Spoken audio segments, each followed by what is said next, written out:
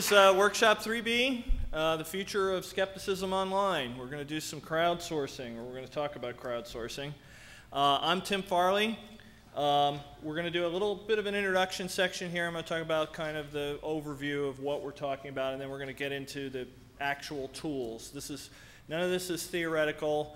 Uh, all of this is actual stuff that skeptics are already doing, and we need more skeptics to do it. Um, uh, I am uh, Tim Farley. Um, I am a software guy, uh, a researcher. I'm a uh, research fellow for JREF. I advise them on uh, uh, electronic media, internet stuff, that kind of thing, and I blog for them. I've spoken at the Amazing Meeting before. I've run workshops before. And probably most people know me as the creator of the site What's the Harm.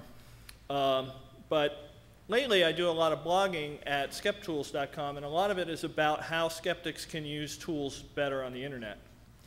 And the other presenter is, is Derek Colanduno, who you probably know as the host of Skepticality uh, with Swoopy. And he also runs an awesome skeptic event if you guys ever get to Atlanta in the summer, uh, SkepTrack at DragonCon. It's a really fantastic event. We do probably almost as many panels and stuff as we do here, uh, but it's in, embedded in this giant science fiction convention. So we get to do get a lot of exposure to folks who might have not known what skepticism was. Four full days. And we're going to have a special guest presenter at the end, something brand new uh, that I think you'll be excited about. So, what am I talking about when I talk about crowdsourcing? Uh, crowdsourcing is a portmanteau of crowd plus outsourcing. And the idea is that you make an open call for participation. You have something to, that needs a lot of work done. Uh, something that if you were going to do it in a conventional way, you would end up hiring a million interns or a, a thousand high school students or a, a, whole staff of people to do, but you don't have the money to do that. So you, hire, you put out an open call and you say, hey, anyone who's out there, can you help us with this project? Um, and they vary. sometimes you bring knowledge, sometimes you bring money, sometimes you bring uh, the ability to do a little bit of work, sometimes you bring some experience, but it's all about undertaking some kind of a task. And hopefully the idea is you get some mutual benefit. The person who put out the call will get whatever the thing was they want put together, and the people who help will get some benefit in the way of experience or just the knowledge of a job well done or contributing to a good effort. And their crowdsourcing projects are all over the place now. Uh, probably the, the ones that you hear about a lot, or at least have heard about for a few years, are the wisdom of the crowd uh, type projects like Wikipedia, that sort of thing. But there's also crowd voting, where people uh, vote on different things and, and, try to find the best items in a, in a group. There's crowdfunding, which has been getting a lot of attention lately, things like Kickstarter, where folks who might have had to go to investors to start their company can now just put their idea out there and say, hey, you know, here's my crazy idea of a thing I want to build. Do enough of you want to do this that you're willing to toss in a little bit of money? And you start a company or you start a project. And people have done record albums and built products and built games that way. And actually, inducement prizes are kind of a type of crowdsourcing too. And um, it's not new. Uh, the Oxford English Dictionary uh, actually ran an open call that was essentially a crowdsourcing project for 70 years for folks to send in quotations that uh, went to the sources of, and uses of different words. And that was a giant crowdsourcing project. It wasn't done on the internet, obviously, it was done through the mail. Um, inducement prizes that there have been many the uh, SpaceX Prize and, and whatnot. The Orteig Prize was the prize that Lindbergh was going after when he flew from New York to Paris. He was, he was after a prize. And they basically, essentially, that's a crowdsourcing project. I mean, you have one winner, but essentially you're saying anyone out there who thinks they can fly from New York to Paris, try it. And the one who does it wins. And the Pillsbury Bake Off is another example that went for years and years. So what are the modern ones? What are the internet-based ones? We've got Wikipedia is probably the most famous. They've built an encyclopedia with over 3 million articles. It might be 4 million by this point. Uh, entirely by just asking people to type stuff, to write about things that they know about. Um, citizen science projects like Galaxy Zoo, Whale FM, and there's probably a couple hundred of them now, and you're going to hear more about those projects from Pamela Gay this weekend. Uh, fantastic thing where uh, science is gathering so much data now that we need, and, and our software isn't smart enough to classify all of it, so we need people to help. And I talked about Kickstarter. Another one is more on the kind of uh, commercial side of it is there's a thing called Amazon Mechanical Turk, where literally you can just put jobs out there that have tiny uh, cash values on them and say, here, are you willing to spell check three sentences for a buck for me or something like that? And people will sign up and earn money doing it. Um, and the idea here, part of the idea here is to have some inclusion, have a way that skeptics, all skeptics, can help participate in projects that are helping to advance skepticism. You know, there's a lot of great blogs and podcasts. I have a blog. I'm on Derek's podcast. There's many other podcasters here, and they're all doing awesome stuff, but not everybody has time for that, right? Uh, frankly, I don't have time to do the ones that I've committed to most of the time, uh, which if you've looked at my blog in the last few weeks, you know that, because I haven't posted that much because I've been getting ready for this meeting. Um, but the neat thing about crowdsourcing is, is you can do it in tiny little increments. If you want to help with Wikipedia, you can literally spend 30 seconds helping with Wikipedia and then go on about your business. And you've actually accomplished something that helps move the ball forward. And the idea is that by finding ways that skeptics can get involved in this and advance skepticism through this, we can get more skeptics involved. Um, and you can do it anywhere you have an internet connection, right? So you can do it from your couch while you're watching TV. Uh, and we need all the skeptics we can get to help out. Uh, another reason to do this sort of stuff is outreach. Uh, another problem, somewhat, with blogs and podcasts is they tend to sometimes preach to the choir, right? We tend to build skeptic blogs that talk to other skeptics about skepticism, and, uh, and it becomes this circular loop. Uh, how do we break out of that and, and actually reach the general public and teach them about the things that we know about, about cognitive biases and pseudoscience and all this good stuff? So the idea is there's so much commerce going on on the internet and so many different things going on on the internet, there's a lot of opportunities to intercept people while they're on their way to become a victim of bad information, while they're on their way to become a customer of a homeopath or a psychic or something like that. If you think about how people do that, there are ways to get in front of them using the internet. And it's an awesome opportunity. We didn't have this opportunity before. You know, 30 years ago, how would you intercept someone when they were about to hire a psychic? Would you stand in front of the psychic's building all day? Nobody could have done that. But there are things you can do on the internet to get people's attention right while they're trying to find a psychic. Um, one of the things I'd like to warn you about is you have to think a little bit about what kind of projects you're working on. Um, there's this thing that some people call it slacktivism, some people call it clicktivism, but it's sort of this false idea that you think you're doing something useful, but really you're kind of spinning your wheels online. Uh, there's a lot of kind of feel-good things that people try to get you to do online. And they're great, and, and, and there's nothing wrong with them, but there's the danger sometimes that you'll lull yourself into the sense that you're actually helping a project when the things that you're doing are actually not, um, not doing anything. You have to think about what you're trying to accomplish. Uh, here are some examples of things that can be slacktivism sometimes. Forwarding emails, retweeting things.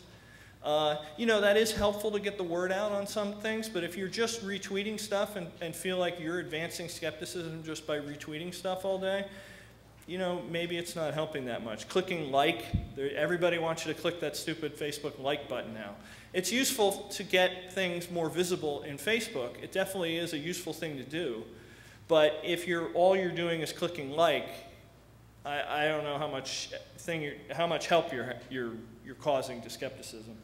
Changing your avatar, A big pet peeve of mine that I'm going to talk about on Sunday is bombing online polls, which seems to be a big hobby of some folks. Really a tremendous waste of time. Um, science, some online petitions are a waste of time, not all of them. Some of them can be very effective. You have to be careful about how you set them up and what your goal is.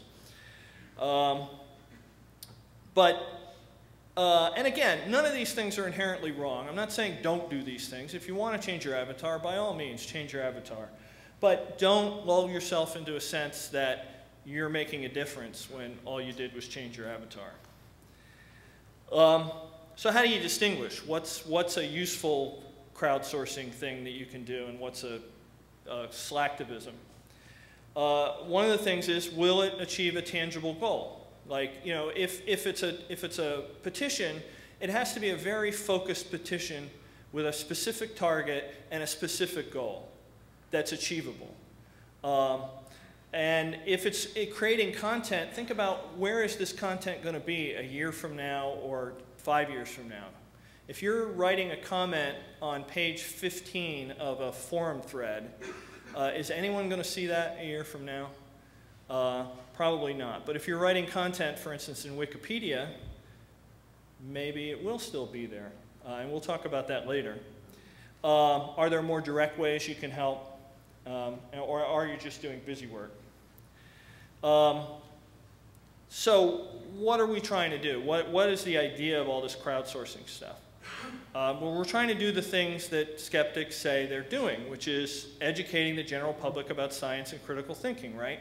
we want to break out of this. Let's all talk to ourselves about how great skepticism is and how horrible the latest quack of the week is.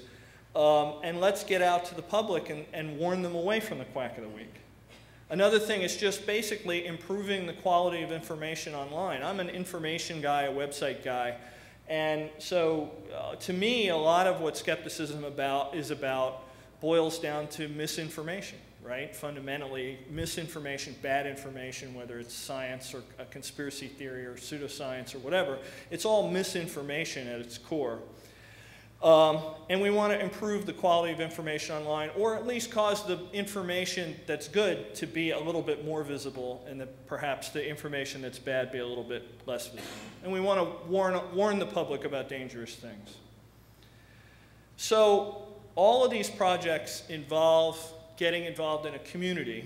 And we will, later in this, uh, we will talk about some, some projects that were built specifically for skepticism. But a large part of this is kind of co-opting uh, crowdsourcing projects that already exist. Um, and one of the things that you have to be aware of is you have to be aware of community 101. You have to be part of the community, okay? You can't just go in guns a-blazing in Wikipedia and say, okay, the skeptic's here now, I'm going to fix all your pages. Um, you have to be part of the community. Wikipedia has been around for 10 years, and there's a lot of people who spend a lot of their life on it, and they don't appreciate the new guy coming in and making a mess of things. And one of the things you can do to lessen that fear of the new guy is to play by the rules. Create an account. That's mainly a Wikipedia thing. Most sites make you create an account. But Wikipedia will let you edit without even you know, signing up. And I recommend that you never do that because it's just, it's looked at, you know, it's, people take a dim view of anonymous edits. Fill out your bio if there's somewhere where you can say who you are. Do post an avatar if there's a way to put a little picture. It doesn't have to be a photo. You can have a, you know, whatever piece of art, you know, you want.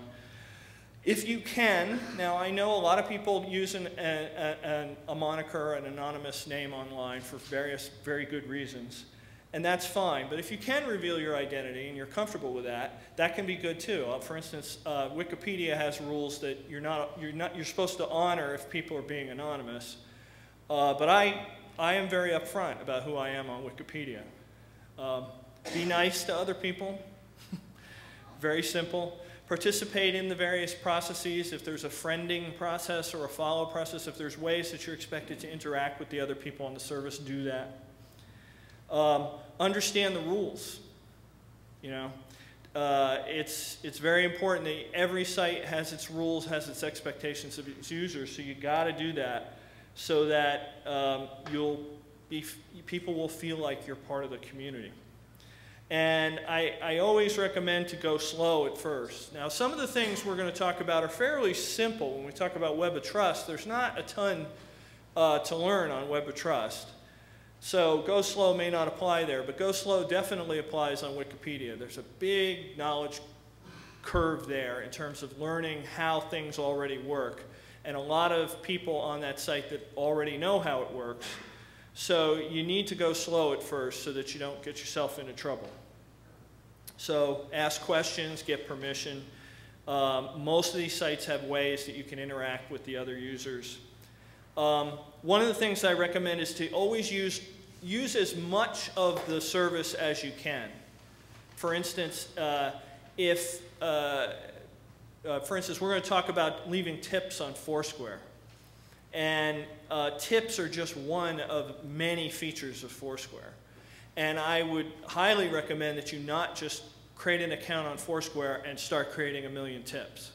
Because people are going to look at that and say, why is this guy not doing anything else on Foursquare and all of a sudden he thinks he has a million tips for everyone else? So even if you're not that interested in the other features, try to use them to build up a usage pattern so people say, this is a regular user, this is a person who's using our service, so we uh, are not going to treat him like he's a spammer or a, uh, a, an abuser. Uh, so don't be a spammer. Don't, don't just um, stick with the skeptic stuff. Um, and I think I have a slide. Oh, yeah, the next slide has it. Um, but don't just be negative. Don't be harshing everybody's mellow all the time. this is wrong. This is wrong. Change this. Try to be positive sometimes. It helps. Um, I know it's hard because as skeptics, we like to debunk things. Uh, but there are ways to find positive things to do. One of the things I do, for instance, when I edit Wikipedia, is I try to find every once in a while something completely unrelated to skepticism to work on. So I do uh, like historic buildings in the town that I live in. I just look on the Wikipedia and find something that doesn't have an article and I write it. And I've spent, there's one article that I probably spent Uh, I don't know, 20 or 30, maybe 40 man hours on researching, going to the library, looking at microfilm, and wrote a really good article about this 100 year old building. And the idea is to build up a reputation on that site. Because people will see that and say, wow, this guy spent a lot of time on this article. He seems to be really interested in Wikipedia. So if, next time when I come in and take someone else's edit out, maybe they'll respect me a little bit better we have to be aware that we are kind of, in many cases, sort of co-opting a little bit some of these tools. Uh, they're not explicitly designed to be skeptic. And some communities will be a little averse, or at least some people in the community will be a little bit averse. This comes up a little bit on Web of Trust, but I've never had much of a problem with it. Uh, where some people on Web of Trust feel like skeptics using Web of Trust is not an appropriate use of the service. Um, so you have to, again, go slow, be a little bit careful. And that's where mixing skeptic and non-skeptic use can be helpful because people will trust you more. If you come in and you're constantly just doing Scientology stuff, uh, people will notice that, or the, or the algorithms that they use to manage the site will notice that. And they'll say, you know, this is somebody that's got an axe to grind about Scientology. They may not be doing their homework. Um, and be I talked about being nice, be direct and polite. You know, skeptics like sarcasm and like humor, and that's fun, and I love it too. Everybody loves a good joke on a homeopath's expense. But these types of projects are not where an appropriate place for that because you're trying to reach the general public, and they're not going to appreciate your, your really clever pun on diluted versus diluted. Uh, they're not going to get it. So just don't, don't, don't do that. Just be very straightforward and explain Avogadro's number and, you know, go through the slow, careful thing and save the, save the sarcasm for the blog post that you're going to write later. Um, and don't forget, and this comes up in a couple of our examples later, to a certain extent, the other side is doing this too, right? And so you got to watch out for negative voting. I've run into this a few times. Uh, we'll see some examples on Web of Trust where it became, in fact, one of them affected me personally, where it was clear that somebody that didn't like skeptics was going out and basically doing what I'm telling you to do here, but in the opposite direction. And usually there's ways to leave feedback and leave counteracting positive votes and try to counteract whatever the bad guy is doing. We'll talk about that later. Now, not really specifically to this, but uh, it helps, is specialization. Uh, I've recommended this for years for skeptics. Um, skepticism covers a lot of ground when you think about, you know, just, just think about all the topics you're going to hear this weekend, by the end of the weekend, between UFOs and alt-med and conspiracy theories and critical thinking and logical fallacies and ghosts and psi powers and just go on and on. And there's a huge list of things. And it's really hard to be an expert in all of those things. So I really recommend in almost all aspects of skeptic, being a skeptic, to try to specialize. Pick an area out and make that your own. Because that's the only way you're going to get really good at it. And we've even seen instances, you know, in the last few years where major, major skeptics have kind of tripped themselves up because, you know, they have to know all this stuff and it's hard. It's really hard. Um, so occasionally a major skeptic will say something that isn't quite in line with the scientific consensus on this or, or that and get a lot of uh, heat for it. Um, they can take the heat. You as Joe Sixpack around the corner, you know, nobody knows who you are maybe. They're not going to, you know, give you the credit that they might give uh, a well-known skeptic. So I, it's something I recommend, and it, it helps out with these uh, crowdsourcing projects too. Um, all right, so that's the intro part. And start closing windows so we can uh, save some space. And we'll go right to our second section, which is about complaining. Uh, rate, rating and complaining. I figured we'd do this right off because skeptics love to complain about stuff, right? Um, so why not do it in crowdsourcing projects? It's kind of a classic technique. We write letters to the editor, we write open letters to the media. Now blogs are often forums for complaining about this or that. Uh, the major organizations often release press releases when, you know, this, that, the crazy psychic does something. Um, there's pros and cons to that. It can be very focused and reactive to something that you know the public has been exposed to. But then, you know, you can't really control what happens because you're at the whim of the editors. If you're writing a letter to the editor or a press release, whether or not that's going to see print is up to the whim of some editor somewhere. And you always have the problem, the fundamental problem that you have with a lot of classic skeptical uh, methods, non-digital skeptical methods, is our uh, speech never quite has the visibility of the original speech that we're trying to counteract right? Uh, Uri Geller gets a front page article, and then we write a nasty letter. Uh, you know, a tiny percentage of the people who see the front page article is, are going to see the response letter. But this is something where the internet realm can help us out because there are situations where we can maybe not quite get the visibility, uh, that the original does, but we can come pretty close because of the power of uh, internet tools. And it's really exciting um, that we can get in front of as many people as the bad guy is, or get right next, get our content right next to his content uh, in a list. And the first thing, and probably one of the most exciting things in terms of just sheer impact, especially when you measure impact versus effort, is Web of Trust. Uh, this is a tool, it's actually existed for like five or six years. I just became aware of it about two years ago. And I believe it comes out of Finland.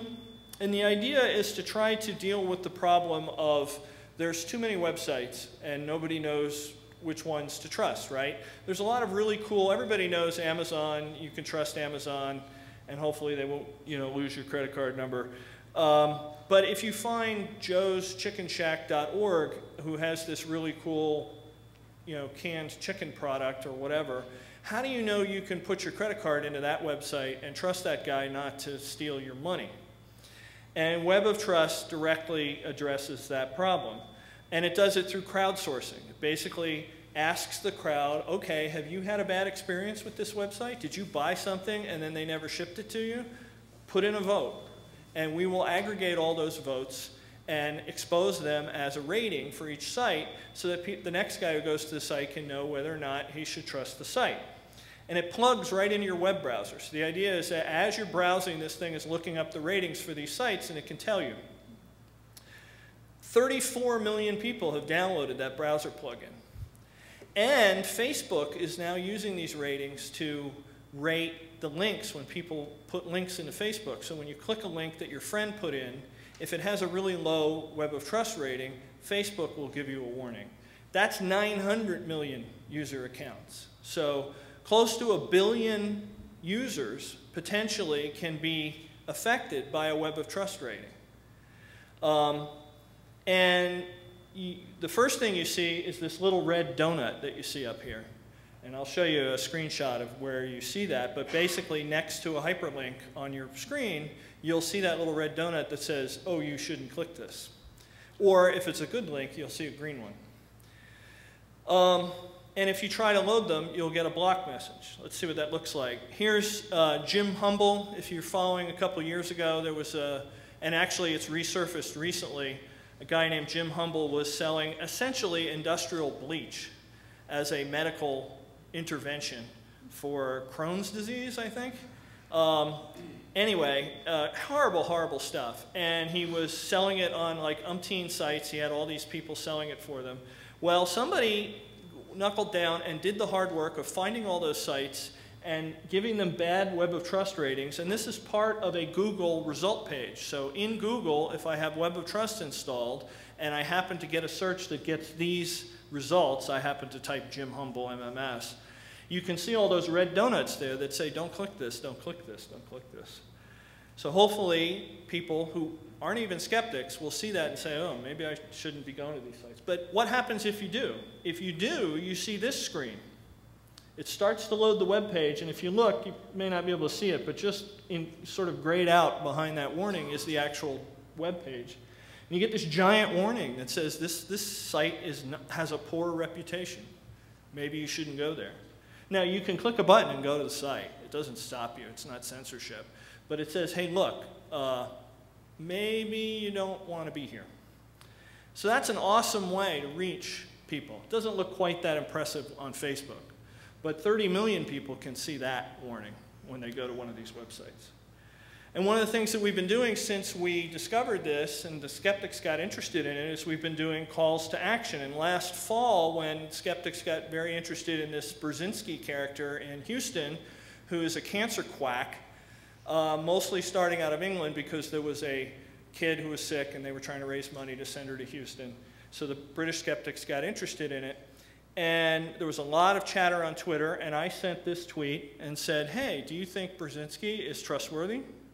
If not, let's go, let's go uh, change his rating on Web of Trust to indicate that. And uh, I don't have a ton of power on Twitter, but it happened that the bad astronomer, who does have thousands of followers, um, saw this tweet and incorporated it into a blog post. And several hundred people followed that link and did some voting. And within a couple of hours, this warning started popping up on Burzynski's website.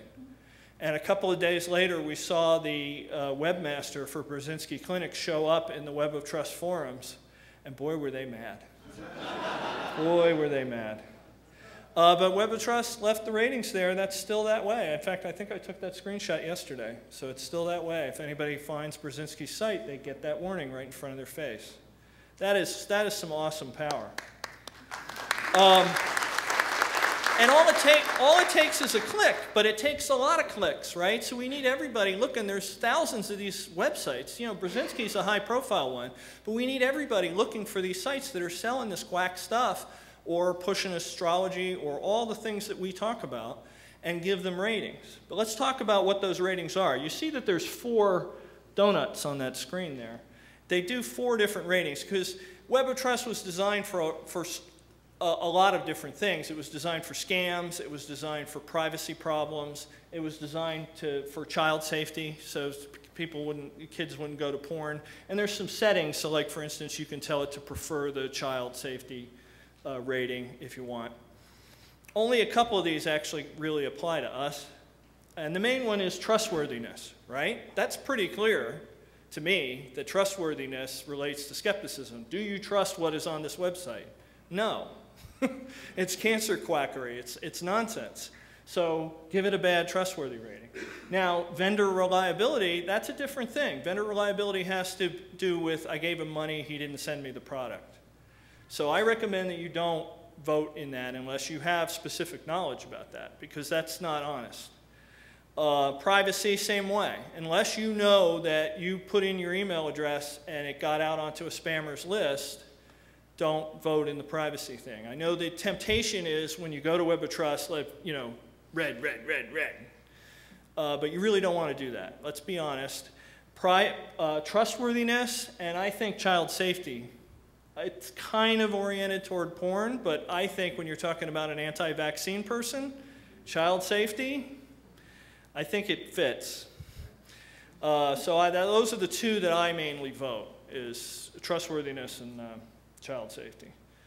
So that's where, when, earlier when I was talking about don't spam, don't give ratings that aren't appropriate because people, you know, the, there are automatic algorithms and moderators on these things. I don't know how much Web of Trust monitors what they do, but certainly they must know that their system gets abused sometimes. So do the right thing and hopefully no one will have reason to uh, uh, doubt your votes. Um, another thing, and just briefly, I'm going to talk about online reviews. Kind of a similar thing, and this is a lot of different sites.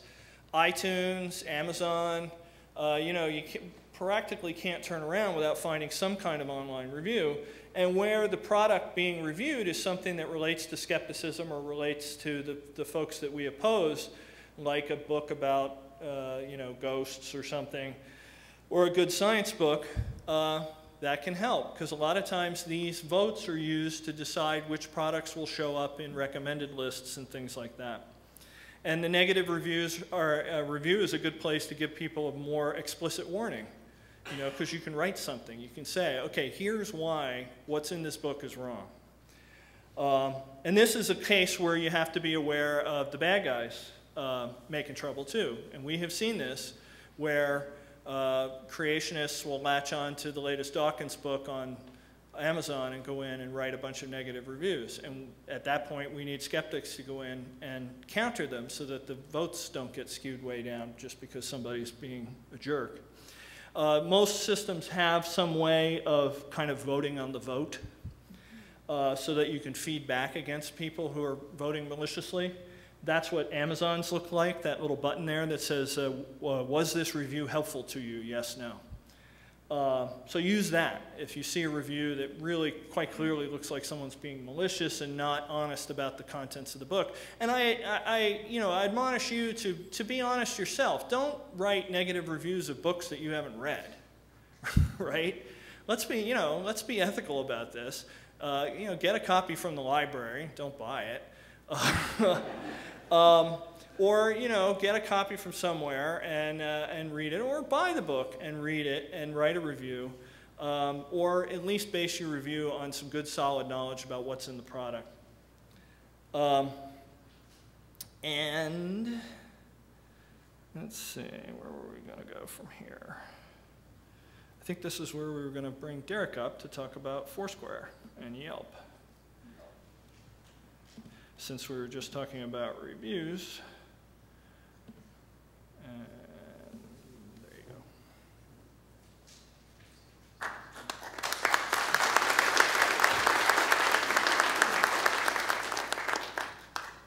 What is this, the last day? Did it just start? I'm already tired. oh, geez, I haven't turned around since I sat down a lot of people now. Um, I'm Derek Colanduno. I've put my stuff down there. If you ever listen to Skepticality, I'm one of the only voices that are left on the show because Swoopy's like full-time working and, and on like school all the time. So she wants to be on the show, but half the time she just is not home. Uh, so that's me. And I'm going to talk a little bit about uh, Foursquare, I think, is the first one that's coming up here.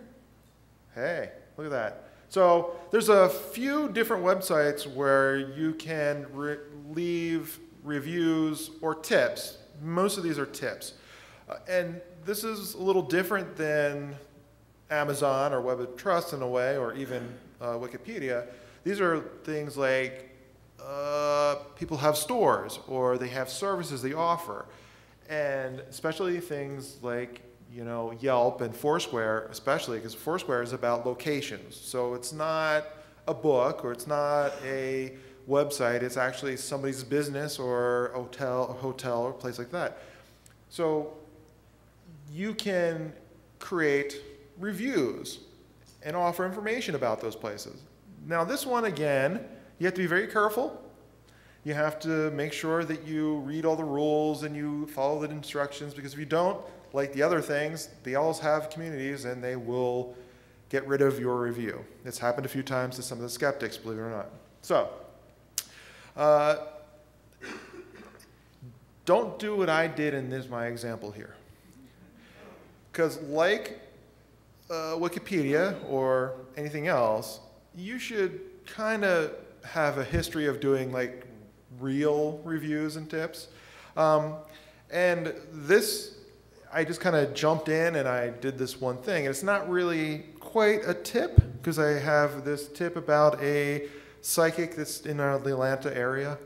And my tip is actually a tip because it talks about the IIG. You can get hey, if this psychic can do what they claim to do, they can win $50,000. $50,000. And if you're the person who gets them to do it and they win, you get money too. So it is kind of a tip. But I should have had uh, something else more than just that. So my example is good and bad at the same time. So you should probably be a little more, I don't know, gentle than I was here. Um, and the thing I reason I say that is because recently is Bob here? No, he's not.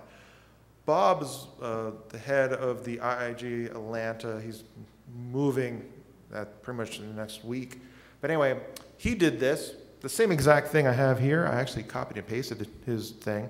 And after I did this, um, he came to the meeting and said, "Oh, by the way, uh, I got banned from Foursquare because a bunch of the psychic people from that location started to like complain, and Foursquare actually banned him.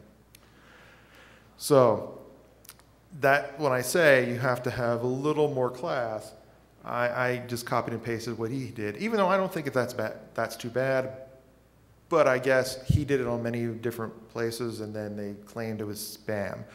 So it, he used the same exact blurb. I did it on like three places. He did it many other places. So, say again? What did you say? Uh, it should be right there on the screen. Oh, I have it right here. Oh, I can't either. It's very small. I think we can zoom. I forget. It's basically the blurb from the IIG website about if you can prove that you have powers under scientific testing, you, you win, you know, fifty thousand dollars, and the person who find, finds you wins uh, what, three or two thousand or something. Thousand, five thousand.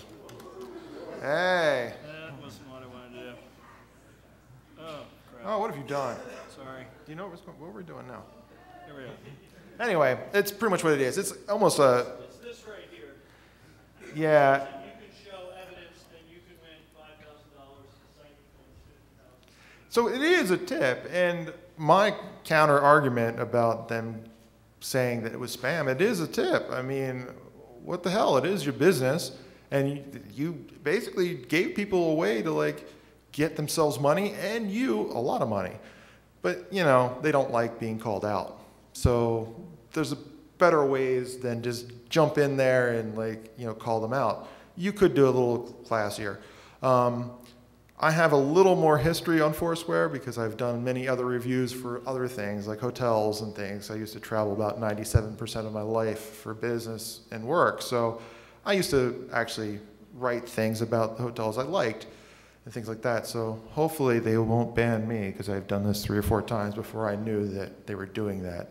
Um, but it's a good way because the nice part about Four, Foursquare, has anybody used Foursquare before? Yeah, everybody has like, you know, one of these things that's connected to the internet all the time anymore. And when you load that up on Foursquare, now it does tips around you. So if you're in an area and there's a psychic around there, and that that tip will actually show up. So people who aren't skeptics will see something like that and they'll say, hey, that's interesting. And maybe they'll want to go to that psychic and win $5,000 and ask their psychic, psychic to do it. They're not going to like that, but it does promote the mindset and it does promote critical thinking because therefore they're going to say, why won't you? You're, you're not going to get me $5,000. You say you do this stuff. So it could actually have some really cool things. Um, another way you can use Foursquare, many of these psychics actually don't have any locations because the, the loca locations at Foursquare have to be put in. So many places that you want to rate, they don't have them. So then create one. Now, me and Tim actually talked about this a little bit because we're like, well, you know, you, again, have to follow all the guidelines and things. Let's say there's a psychic near you, and you go on Foursquare, and you want to like put it down, and they're not there. Well, you can actually put in their location yourself. They don't. They, you don't. They don't need. You don't need permission from them. You can do it yourself. And the weird part about this is you're drawing attention to the psychic or the bad service or the woo merchant, whatever you want to call them. Um, but, and again, they shouldn't really mind because you're giving them advertisement they didn't take the time to do, as long as you use all the official information. Because if you read their, their terms and guidelines, you can't do anything bad. So you have to actually put in their real stuff. So go to their website, put in all the real information, and then you can leave my, my, my tip where I, I should have, in all of these, you really should probably put like a, a, a more enticing tip, one that's not as hit you in the head with the book as I did. You know, hey, by the way, I think this guy's a scam, so here, try to win some money because if they're if they're not, hey, you make money. Everybody knows what the really you're saying is that oh, they're not going to go for this.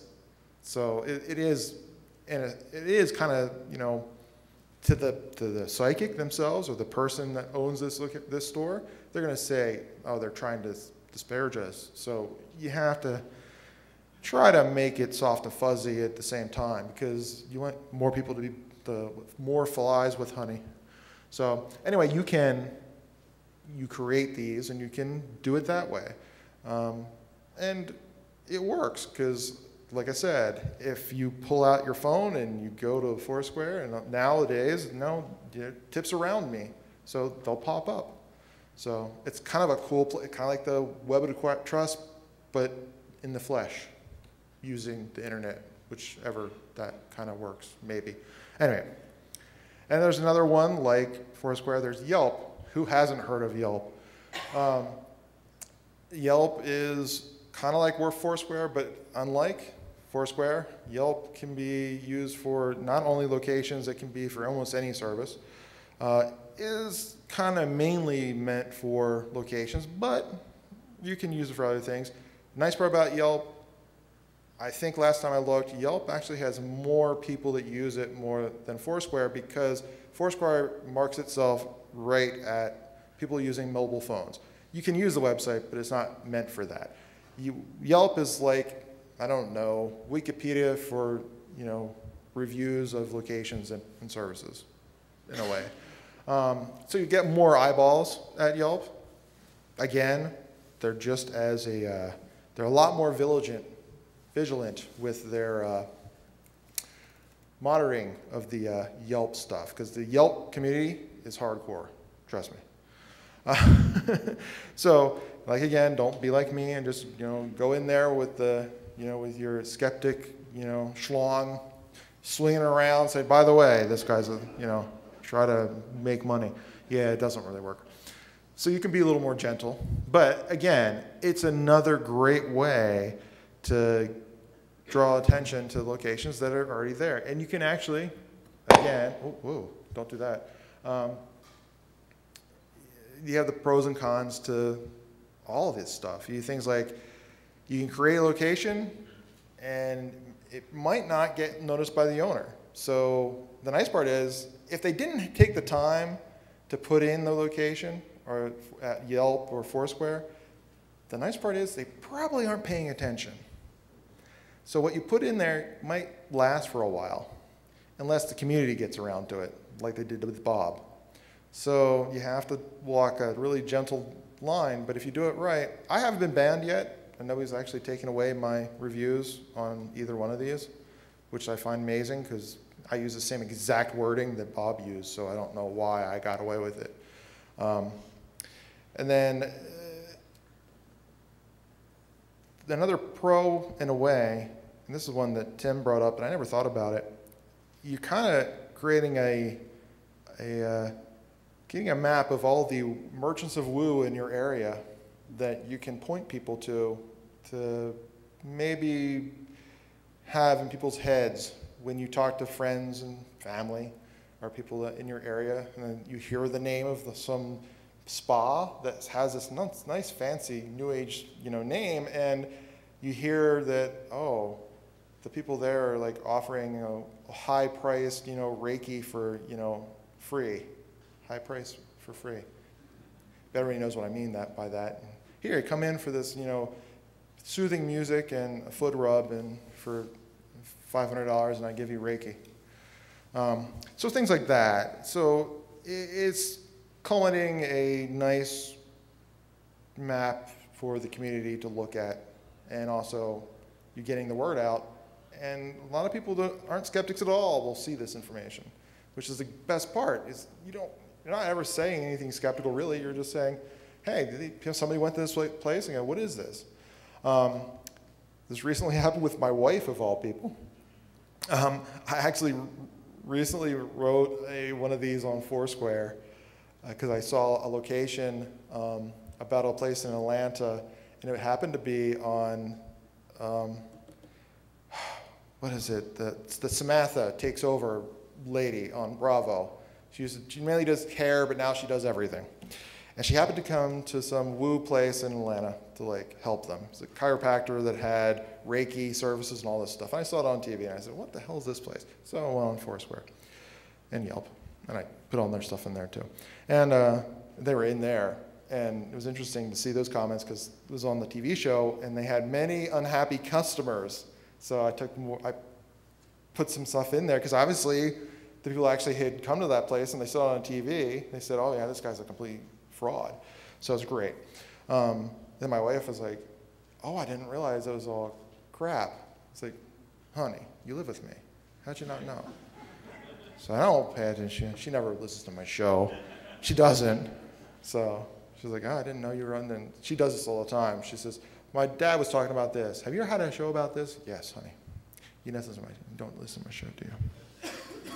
Anyway, so yeah, so it's, it's good to have this information because you can point, you know, family, friends, things like that. So, again, you have to follow the guidelines and rules. Like Tom, like Tim said, like Wikipedia, like Foursquare, especially Yelp, they have a big community. And don't go crazy in there and just start stomping around and say, I'm Mr. Skeptic and I'm going to point out every single place here that you never should go to. I didn't get, I should have put all my examples because, um, because like I said, I used to travel all the time. So I had a lot of stuff on Foursquare that was, you know, just regular reviews. Um, things like, you know, by the way, this hotel, they allow dogs, not just seeing die, eye dogs, any dog. And uh, I actually had people comment on my comment and said, hey, I've done this. This is great. So then I, it builds up goodwill. And then I just have the list of those links. And then it's time for Tim again. So you're done with me.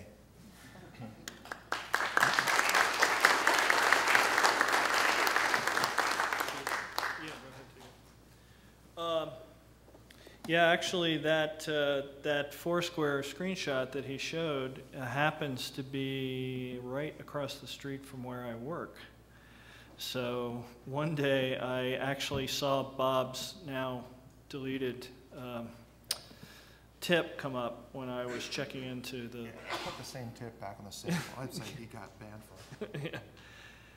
yeah. Um, which is a cool new feature that they put in Foursquare just recently, like last month, uh, where uh, tips, it used to be that the tips would only show up for the place that you were at, but now tips will show up uh, for nearby places if there's no tip where you're at. Uh, and the idea is to help you discover, oh, by the way, there's this really cool restaurant across the street you might not have known about. And ours could say, oh, by the way, you could win $5,000 by turning the psychic in to the uh, skeptic police.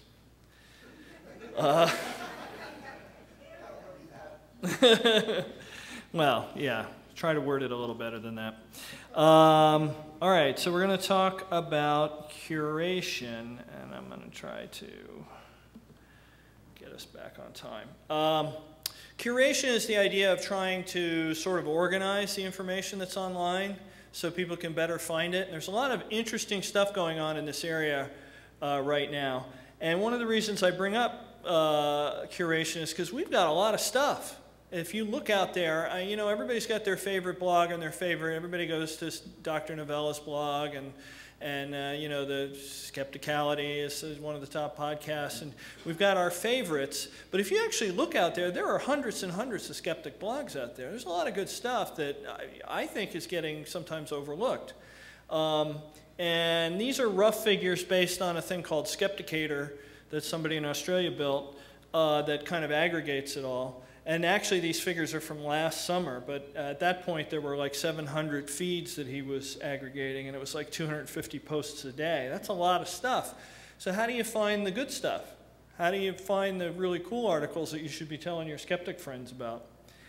And I did an, an, a census of skeptic podcasts, and this is fairly accurate data from 2005 through 2012. This is just sheerly the number of skeptic podcasts. And I, just out of sheer laziness, didn't even include the atheist podcast. So this is just the, the podcasts that have sci- at least some science in it, um, not the ones that are just talking about religion or atheism or whatever. Which there's a lot of great podcasts that do that too. Like I said, I'm just lazy and didn't want to have to chase all those down. But there's like 95 of them now. There seems to be this weird thing where it seems to be flattening off right now. But uh, huge, huge growth. And uh, there's like uh, 10 different languages and stuff like that. We'll talk about language issues later. So there's a lot of content out there. There's uh, uh, probably 100,000 blog posts. Uh, I know as of last summer there were at least 3,800 episodes of various podcasts. That's actually an undercount because when I did my recount this year, I realized that I had done a severe undercount last year. And there's at least 9,600 videos on YouTube and Vimeo. Uh, so that's a lot of stuff to wade through to find the really juicy stuff. Uh, and skeptics need a way to keep up. They need to find the, you know, I need to know where the really good, you know, who has the best, pithiest explanation of homeopathy or acupuncture or whatever. So when somebody asks me about it, I can send them right to that resource. And when there's new stuff coming out, I need to know about it, right? Um, how do you find out about the latest study or whatever without relying on another blogger, especially if you're a blogger and you need to find out about this stuff?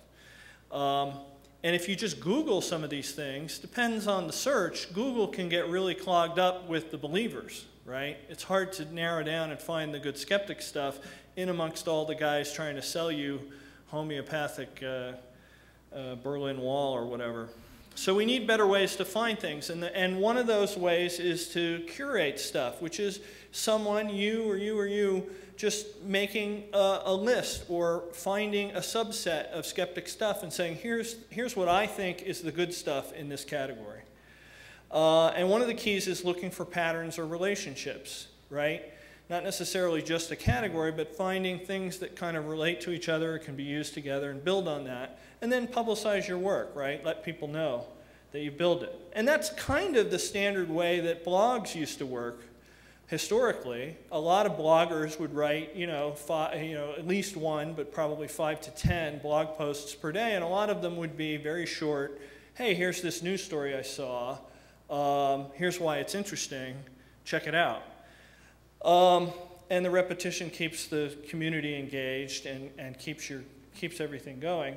Now that's kind of changed these days. A lot, some bloggers still do that. I don't do that on my blog, but a lot of people have moved that to other medium that we'll talk about in, in a minute. But another way is to just do a website. My website, What's the Harm, is just a curation project. I didn't create any of that information. All of it is stuff that I found Uh, some of it was news stories, some of it was stuff that other skeptics had already written about. I just organized it in a new way by putting all the cases on one website so you could find them in one place. So it's a pure curation uh, situation. Here's one that somebody created uh, sometime last year called Skept TV, and all it is is a Tumblr. And a Tumblr is just a blog, but it's, it's designed to be very simple to post to, so you can do those short posts every day. And whoever runs this, I'm actually not sure who exactly runs it, so if you're here, come see me. Um, and they just look for good skeptic videos. And I, I'm not sure how often they post at this point, but it was at least one a day. And so if you wanted to see good skeptic videos, here was a way to do it, right? And that's a curation project, right? Social media, for a lot of people, I know a lot of people don't use Twitter, give Twitter a bad rap. It's all about people saying what they had for lunch. Um, no, it's not really. I mean, if you follow a lot of 13-year-old kids, maybe it is. But the way I use it, and a lot of my friends use it, and I follow a lot of skeptics, is we use it to exchange information about skepticism, exchange links. This is just four of my posts from uh, last week sometime. And you can see that I posted two news stories. I posted a tip about TAM, uh, some information about uh, where the schedule was online, and my skeptic history post, which is just something that I do every day just so that I have something to post every day uh, that's educational. And that's a curation. This is what I'm interested in in skepticism. And if your interests somehow intersect mine, then by following me on Twitter, you can benefit from what I'm curating. And so you can do that too. Now, the really interesting thing about this is now uh, there's interesting side effects of this now. And I wrote a web uh, blog post about this a few weeks back. This is a tiny slice out of a Google result page and this is what I personally get if I type Reiki into Google. And you'll notice that the first one is a Reiki website, but the second one is a skeptic blog post about Reiki. Now, that's not a very highly ranked skeptic blog, and the only reason it shows up in my results is because I'm friends with that person on uh, Google. And you'll notice it has a little person icon to the left of the blue link, and right underneath it, it says Angela Meaden shared this. So the only reason that result shows in my Google results is because I know Angela Meaden online. And that's a powerful thing. Now, of course, she's just showing me a skeptic post, but imagine if you, if you had family members who were thinking about going to a Reiki person and you had posted stuff online there's a way to insert something right into the Google results that they'll see, right? And all you do to do that is just post a link on Google Plus um, and make sure you're friends with the people that you're trying to reach. So that's a cool effect of curation uh, that's come from new features that Google's built. Just briefly, I'm going to talk about um, a freeze page or WebCite. There's uh, a lot of situations where quacks and psychics and whatnot will get caught saying something they shouldn't say online, like making a claim that's illegal or trying to make a prediction uh, retroactively. And there are tools like Freeze Page is one, WebCite is another. There's a number of different ones that allow you to, if you've ever had to link to pages that are fairly old, you know they disappear. It's, it's, it's the horror of maintaining what's the harm is all the news links on what's the harm are expiring all the time, and people are emailing me, oh, this link is broken, this link is broken. Um, and that's why these services exist, because if you want to cite something, like if you wanted to cite a, a, web article in a paper, a scientific paper, the only way to cite it and know that the person who's reading your paper could see your citation is to use WebCite. Uh, well, we can use that to capture, say, the predictions page on sylviabrown.com and see what Sylvia Browne was predicting last April. And then if she then says, oh, well, last April I predicted that there were going to be two chimpanzees loose in Las Vegas today. I don't know if you saw the news, but there were some chimpanzees loose. Uh, strange things you find out when you go up to your hotel room and turn the TV on. Um, and if she tried to go and edit her webpage and lie and say that she had predicted that, you could go back and do that. And then skeptics have done this. There was a case a couple years ago with a psychic, psychic to the stars, psychic Nikki, And when Heath Ledger died, she obviously went right to her here's my predictions of who's going to die this year site and stuck Heath Ledger's name in it. And a skeptic blogger caught her doing it because he had done a freeze page of her predictions page. Um, so that is, that is an awesome power, but that's something, again, where we need, we need a big crew of people doing this stuff because there's a lot of these sites out there and nobody, you know, we don't have massive multi-million dollar organizations to do this on a massive scale. So we need you to pick one psychic and you to pick another psychic and get this done. There's a lot of services that you can use for curation type things, organizing stuff, and they all work in slightly different ways. You've got social media like Twitter and Facebook, which sort of pushes out your curation to other people. There's the bookmarking sites like Delicious, Reddit, Pinterest. These are ways where you collect what you're interested in in a place where people can come see it. Uh, Reddit is interesting because it has a special skeptic section. So that's a fun way to uh, sort of help skeptics organize in a group curation, essentially, of here's what skeptics find interesting today, is the Skeptic Reddit. And then we're going to talk about the Q&A sites in a second, the Stack Exchange. And then, of course, just simply emailing stuff out is the old-fashioned way of doing it. And again, specialization, I think, is the key. Curation doesn't make any sense unless you've got some sort of slice that you're trying to curate. I specialize in harm stories, skeptic history, I do a little bit of InfoSec, and technology. But I don't do like alt-med theory, I don't do conspiracy theory stuff. There's a whole lot of stuff that I don't post on because I let other people be the experts on that. So let's talk about Q&A sites. These are kind of, it's kind of a new type of website that's just come out in the last couple of years, or at least the good ones have just come out in the last couple of years. There have been a lot of really crappy Q&A sites over the years. And the idea is to post answers to very focused questions. You know, people have these questions of how do I reset the, you know, the input on the back of my Marantz receiver so that it's in stereo again? know, or you know, just some crazy thing that you know somebody on the internet knows the answer to that. Um, and the idea is that if you collect enough of those questions in one place, Google will start bringing, whoops, bringing people to you. Well, how do you collect enough answers in one place? You do it through crowdsourcing.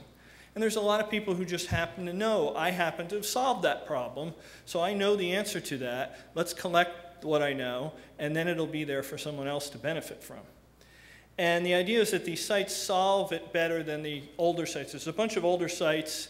Uh, there was one for programmers called uh, uh, Experts Exchange, which became a kind of a joke because if you read the name carefully, it looks like it says Expert Sex Change. Um, but it was horrible, and everyone hated it because they would show you the question and they would show you the page, and then they would put these ads in front of the answers, or they would tell you you had to subscribe before you would see the answer. And it was just this blatant attempt to, we might have this information you need, but you have to pay us 1995 first. So there was a guy, a couple of guys who decided we can do this better than them and put them out of business. And they built this thing called Stack Exchange. And this is their diagram. They claim that they are sort of in the intersection of sort of four different types of websites. A wiki, which is sort of a group edited database of articles. A blog, which is a, a sequential set of articles. A forum, which is people responding together eh, to topics. And something like Reddit, where people are uh, finding things that are interesting and, and the interesting stuff bubbles to the top. And they claim that their site is designed to be the intersection of all four of those, that little star right in the center. And the way it works, the way they make it enticing and the way they get you to answer questions on the site is they've done what they call gamification. And this is a big part of Foursquare, too. One of the things that makes Foursquare addictive and makes people want to do it is they've turned it into a game. You get points and you get badges and stuff. It seems really stupid, but there's this, in some people's brains, there's this little weird thing where you like those little rewards. And because fundamentally Foursquare is pretty boring, right? You're logging where you're going. Um, and it's gotten, there's some other benefits. I've actually gotten money from Foursquare, like American Express will give you discounts on things and stuff like that. But the gamification, basically they put points, they put badges, and the idea is you're trying to raise your reputation. You're trying to be able to say, hey, I answered the most questions. I'm the smart guy. And it incentivizes everybody to come up with good material and get the good material up to the top and make the site better. And everybody feels invested in what they're doing. And of course, you have manual moderation too, because you've always got jerks on the internet that are going to try to ruin things. So you got to have some people watching. But a lot of the moderation is done automatically through this game system.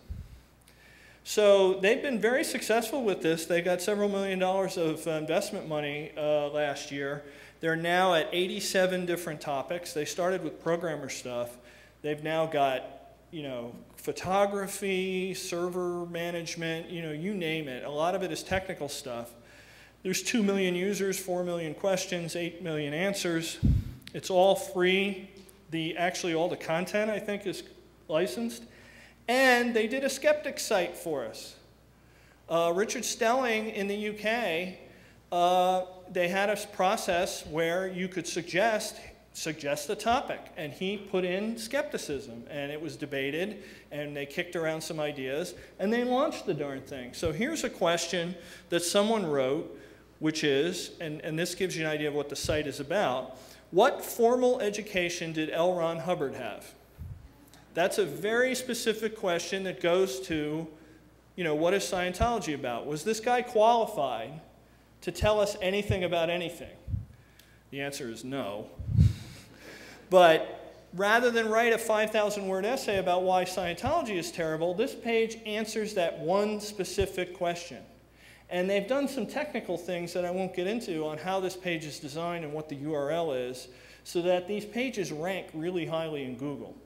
So if you do a search like L. L. Ron Hubbard formal education, this is the number one answer. And that's a powerful thing because if I wanted to put a website up that said this exact same thing and for it to be the number one answer, I'd have to do a lot of work to do that. I actually wrote that answer because I happen to have read the article in New Yorker that came out last February that went, had the exact answer to this. And I wrote the answer up and I footnoted it and hyperlinked it and you can see to the left of the question and to the left of the answer are some up-down arrows and a number. That's where the voting goes on. And so the questions get voted on, and the answers get voted on, and the good ones pop to the top. And at some point, the questioner uh, chooses an answer that they like, and that's what that green check below the um, 11 next to the answer is. The green check says, yes, I think you've answered this question correctly. Um, and of course, with skepticism, it's a little less clear cut than the technical sites. Like if I ask you a question about a camera, at some point we're going to be able to figure out what the right answer is.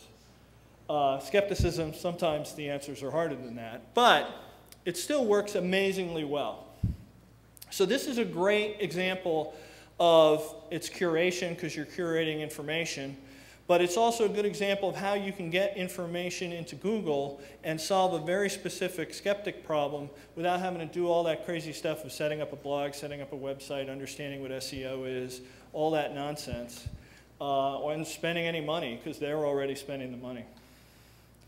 And one of the things you can do is they've made it easy recently to ask and answer your own question. So you can, uh, if you happen to, in your reading and skeptic travels, find some little tidbit that uh, is hard to find and you feel like it answers a very specific question, just go to Stack Exchange and answer, write a question, and there's a way you can click the button and say, I'm going to answer this question, and write the answer.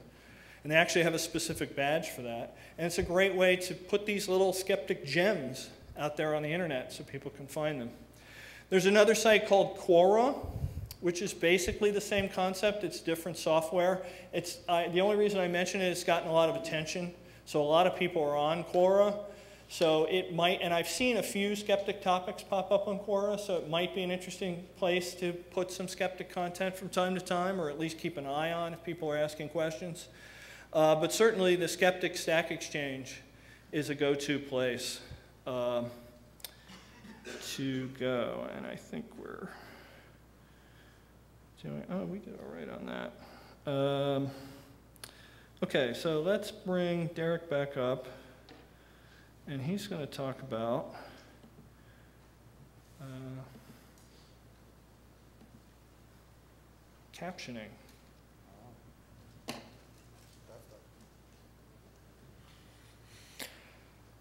So another big way, Tim brought up the podcast thing earlier. You saw how many podcasts are out there. The thing about podcasts is that most of them are just radio shows, so they're not in text form. So they don't get searched by the search engines because they don't know what's in, in that audio file. Google doesn't search everybody's podcast. It can't. So one of the things that we can crowdsource or you know help other things like Skeptic Media with is create this trans- transcripts for every piece of Skeptic Media that's mainly just audio. And this extends to things that aren't just audio because some skeptic video is also not searchable either. It's not, it's for the same reason. So things like podcasts, vodcasts, they have a very hard time getting any Google juice because they don't show up in the search engine. Because what I talked about last week on skepticality is probably not on Google right now because uh, it's not it's not text, it's just my audio. Uh, this is going around on going on quite a bit lately. Uh, Monster Talk, if either Blake or or Ben is here, um, they actually take donations to pay for transcription services, so they can get their shows transcribed and then have a show notes page that links to the entire actual episode as an article like in a magazine. Um, and that gets searched by Google. Great stuff. But they actually have people like when Tim brought up things like, you know, crowd, crowdsource funding, that's what they use. They get people to donate a little bit of money and then they actually have professional people go and transcribe the stuff and then they actually have a back catalog of all their episodes uh, in text form. That's a great way to do it. Uh, Skeptic's Guide Universe, everybody knows them. They're, you know, see them every morning after this one uh, doing their live show. They actually use the same idea, but they actually have a wiki and they make everybody, they have people go out there and actually type in their, ooh, transcript for them in a wiki. So then people go in, they actually listen to the show, and they tape it all in. And then over time, when people have time, they eventually actually fill out their uh, episodes in a wiki format. Some places have an advantage. Advantage. If uh, uh, Mr. Skeptoid is here, I, I don't like you because his show is very short. And uh, he actually pre-scripts everything and then reads from a script so he has a really easy time at this. He just puts his file up there and says hey google come get it. So he has a really good great great way to do that. So most of the shows don't, don't have that luxury. So like me i we do a, a skepticality. We have gosh we have an episode, a long form interview or two episode every episode, and then we have three other, three or four other reoccurring segments every time. And then I'm not requiring people like you know Tim and all the people who actually contribute to my show to give me those scripts. I could do that, but I've been too too uh, I don't know absent-minded to actually ask that question because I could probably do that because I probably do have scripts, but I don't think about it. But uh, so you, most people go, well, what can I do to help this problem? I don't have time to do. A, I mean, other, most people go and say, well, I don't have time to do a podcast, but I want to help. So you can help. There are really cool services that make this a really easy job. We're going to talk about two, about three versions of this. There's uh, one that that uh, that Tim found is called Amara. It's actually his real name is Universal Subtitles, but they have that fancy Brandon, name, which is uh, Amara. Um, and then there's a, a free system. Uh, now, Amara Universal Subtitles is actually mainly for uh, videos, YouTube or uh, what's the other one? A Vimeo. It's for that type of thing, not audio. Uh, Transcribe, which is a free system, they're both, they're, the other one's free too. Um, but it's just a uh, open source project where you can go and it has the same features, but it's just for audio, not video. Uh, then what this happens is you can then use these transcriptions for YouTube. because the best things to do, which is what I do, every episode of Skepticality, if you see that picture of me and Swoopy in cartoon form in Skepticality, and then I have the episode and the date, I put that on YouTube. It's just all it is is that picture, and then I have under it on the video is just the, the, the sound file. And then I get a lot of actually, it's amazing how many hits I get on YouTube. And there's no video, it's just the audio. And a lot of people subscribe to that to my channel on YouTube almost as much as they do on my normal feed, which is just skepticality. And I don't know why they would do it that way, but they do. Um, a lot of people are just YouTube fanatics, and that's what they do. And all it is is a radio show with a picture that just stay, stays there. If I was, if I had enough time in my life, I would actually make a little a, a slideshow of it to make it more interesting, but I don't have that time. So the nice part about YouTube is you can put uh, captions, closed captions in YouTube, and the words that you're hearing actually show up on the screen if you have a transcription. That's the problem. I don't have all my stuff transcribed. So the uh, Amara Universal Subtitles, this is actually a screenshot of, of me using that service. This is my latest episode. And you can see in the bottom right is the uh, control system where you can, it tells you, you know, you can put shift tab and you can go backwards and you can go forward a little bit. And then you can listen to the actual show and then type in that little box under the, the picture what is going on at that time, and then you hit return, and then you can actually create the subtitles. At the end of this process, you say, okay, I'm done. And then it shows you the subtitles, and then you can scrub around on the video and say, okay, does this match? And they can match up the thing, and then you say, okay, and then it sends it, and then it sends those subtitles to that YouTube video. So when people go there and they click the thing and say, I want to see the subtitles, they're there. It was kind of cool. Some people, like you know, then you can actually, those subtitles actually get searched by Google because guess what? Google owns YouTube.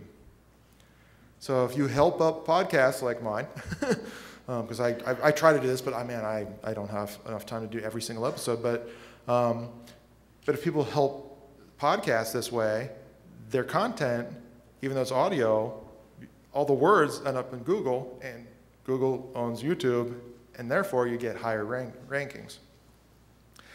The thing is, this works for video.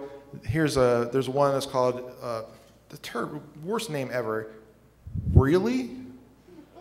It's actually what it's called, W-R, really. It's, but it's, I, because the, it's, it's really. Yeah, really. Um, it, this is just for audio. Same thing, but it's just audio. Um, nice part is you can take, you can do this, send the file to the webmaster of that show, and say, hey, put this on their website because if you actually put that in your show notes as a page that people can like click on, Google will actually search that. So when somebody types anything that was talked about in that episode, it'll pop up in the, in the Google search results. So that's another way you can really do it. Um, and I just talked about this because this is, shows you what actually it looks like. Um, here's a, another way you can help out. If you don't want to use the, the funky tool, you can actually go to any video on YouTube, upload the actual audio file with a little picture, and then YouTube will actually try to um, translate it.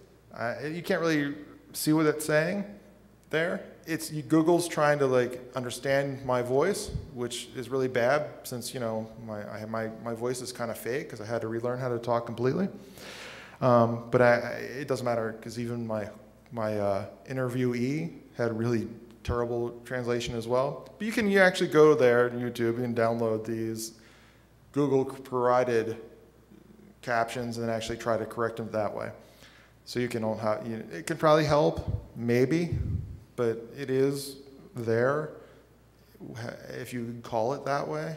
But you know, it, it tries not that well. But if anybody's, who here has used Google Voice?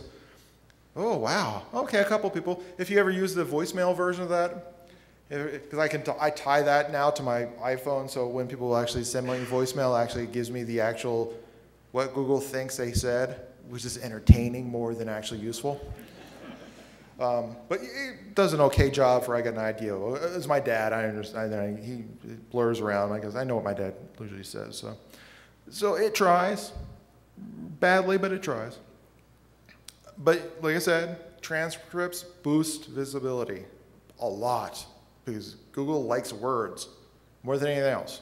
Text words on a page because that's what you search with. Um, until you know, we all get you know that weird search with that they're trying to make where you can like shove in a video and then I'll try to find something like it because they has anybody here tried the fancy Google picture search? Yeah, how well did that work? Not that great, but they're trying. But until they get there, really, transcripts, is the way to go. Um, then here are some links to the things I talked about. Uh, here is the link to the Monster Talk uh, page on Skeptic, because uh, Skepticality and Monster Talk are the official podcasts of Skeptic Magazine. Um, and so their website is off of skeptic.com, and they actually have a page there where you can actually donate to their transcription effort. Uh, Skeptoid already knows that show, but you can actually go there and actually see all his transcripts for every episode. Um, there's the, uh, the link to, hey, look, I did Skeptoid twice. Yeah. Um, SGU has, I linked to their, uh, they actually have a, because they're hardcore, they actually have a uh, actual web US, they actually have a domain just for their transcript um, effort, which is kind of cool of them. Um, so actually have that, so you can actually go there and see how they use their wiki to do this. Um, here's a link to Amara, which is actually, their website is not Amara, it's actually the name of their company, was Universal Subtitles, don't ask me. And there's the really, really, um, and then YouTube, which if you didn't know how to get to YouTube, I don't know if I can help you or not. So I'll go back to Tim again.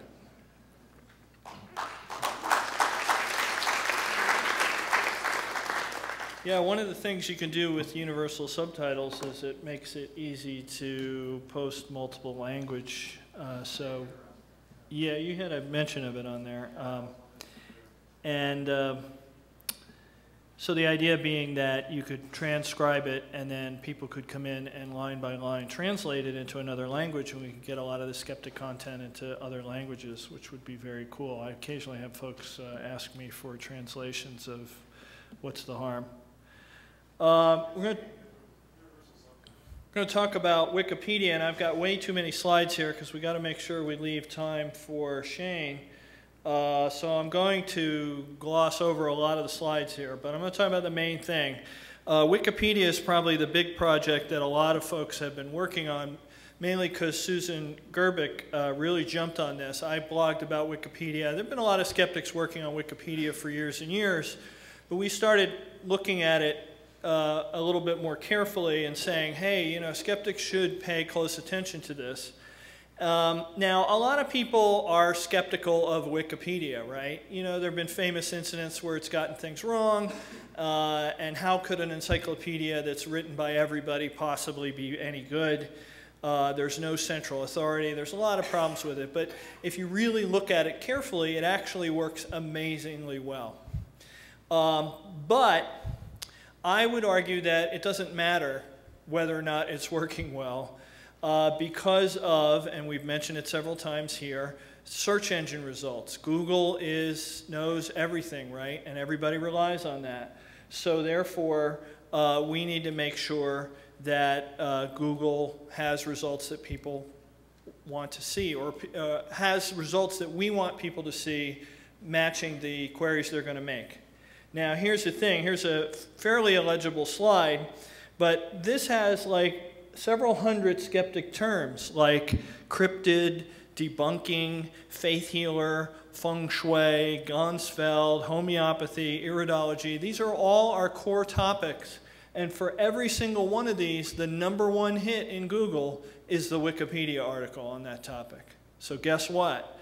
Because of that Google, let me back up a second, that Google gullibility issue, uh, that's where people are going to be learning about these things, whether we like it or not. Now, you can rant and rave and say, get off my lawn, and say you hate Wikipedia, but like it or not, people are learning about homeopathy from Wikipedia. And so I feel like we have to go edit that article, right? We, it might stink, uh, but we have to because people are, are, are using it. And even the ones that are not number one, there's a number two or a number three hit, and there's technical reasons why Wikipedia ranks so highly. Now, the alternative is to try to rank highly ourselves. But that's a very difficult thing to do. And there are pros and cons. Obviously, if you build your own website, you have more control, you can specialize it better, you can include topics that Wikipedia would say no to, and then the users co are coming to you instead of going to Wikipedia. Of course, the problem is, is that's a lot more work. You have a lot of competition. Like, for instance, trying to get on that first page of results for homeopathy, that's, that is a hard nut to crack. There's a lot of competition out there. Uh, and you've got to do that in an ad hoc, ad hoc basis for every topic. Um, another way to look at this is traffic. And I looked at this actually after last year's TAM because of a remark Susan Gerbic made to me. I actually ran a year's worth of traffic numbers because Wikipedia is completely open. All their traffic numbers are published. And I know my traffic numbers for What's the Harm. And those two, these are four topics each of which have a page specifically about them on Wikipedia, and each of one has a specific uh, page on them on what's the harm. And the two on the left are very high ranking uh, pages on Wikipedia, homeopathy and chiropractic, right? And they're the two top pages on what's the harm uh, that are specifically about a, a topic. Um, and I lose big time, right, to Wikipedia. Wikipedia is getting like 50 times the amount of traffic that I am, or uh, sometimes 100 times the traffic I'm getting. And even the two uh, topics where I do really well in Google, attachment therapy and ozone therapy, who knows why, what's the harm ranks like number one or number two on those two topics, I'm still like 18 times, Wikipedia still has 18 times the amount of traffic that I get. So that's, that's a, you know, a sobering graph there that you know, I can do all I want to my page, but Wikipedia is still going to get more traffic on theirs. So we need to be making sure that the content out there is as skeptical as possible. And Wikipedia is built that way. I'm going to start going fairly fast. Uh, I think most of this slide deck is posted somewhere. We're going to post these slides anyway. Um, but Wikipedia has what's called the five pillars uh, which is neutral point of view, it's free content, you should be respectful and civil, but they don't have firm rules. And the idea is to have sort of a framework, but encourage people to come in. So they want us in there. They want as many editors as possible, even skeptics. And there are a lot of skeptics who are fairly high-ranking editors on Wikipedia. Um, there is a, I will, you know, admit to you, there's a, a lot of disadvantages to Wikipedia. It's not an easy thing. It's not like Web of Trust where you can go in and start clicking red, red, red, and make a difference right away. It's a huge culture. There's a lot of lingo. People fling these three-letter acronyms around like NPOV and expect you to know what that means.